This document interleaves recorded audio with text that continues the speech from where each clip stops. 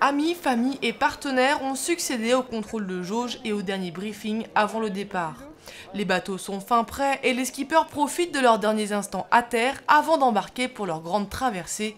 Cette épopée en solitaire de 4200 milles à bord d'un bateau de 6 mètres 50. Épreuve sportive pour certains, aventure d'une vie pour d'autres. Ce qui est sûr, c'est qu'au matin du départ, rien ne les différenciait.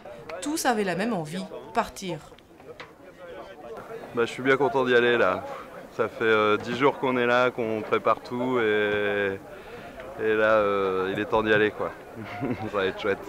J'ai déjà une partie de moi qui est, au milieu du golf donc euh, même si mon corps est là devant la caméra, en fait je suis déjà parti et moi je suis prêt ouais.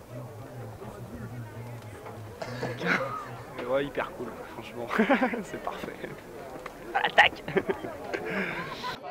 Pour cette première étape qui rallie Madère, les solitaires navigueront dans du petit temps et pourraient bien mettre jusqu'à 4 jours pour sortir du golfe de Gascogne.